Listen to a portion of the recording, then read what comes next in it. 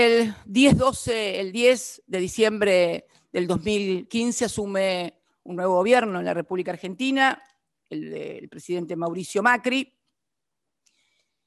Y desde los primeros días de su gestión comienzan a producirse hechos institucionales de gravedad inusitada que tienen una clara orientación a tomar el control por parte del Ejecutivo del Poder Judicial para usarlo como instrumento de persecución a sus opositores políticos. A los cuatro días, el 14 de diciembre, el Poder Ejecutivo dicta el decreto número 83, por el cual nombra por decreto a dos miembros de la Corte. Sí, se intenta nombrar por decreto a dos miembros de la Corte. Y una de las personas que interviene en esta operación es el doctor Rodríguez Simón, más conocido popularmente como Pepín, y que se encuentra hoy prófugo en la República Oriental del Uruguay. Se ponen a dedo jueces, violentando todas las garantías constitucionales del juez natural, jueces que luego convalidan todas y cada una de las tropelías que determinados jueces, no todos, determinados jueces hacen en la primera instancia de Comodoro Pi. Es más, en esta causa, antes de este tribunal, señora presidenta, que usted hoy preside, se intentó poner un tribunal oral a dedo.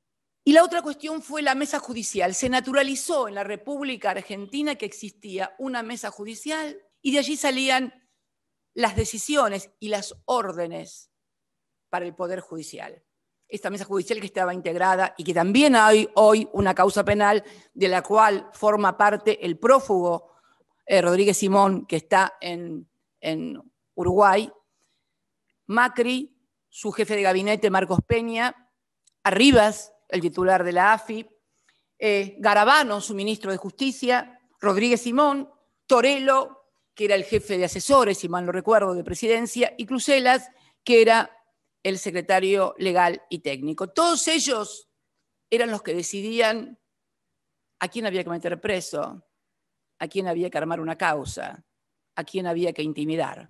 En este contexto que acabo de describir institucional, en el cual se prepara al Estado para que en lugar de perseguir el bien común, la verdad, la justicia, el bienestar, sirva como un instrumento de persecución para un determinado sector de la política, que por supuesto era yo su cabeza.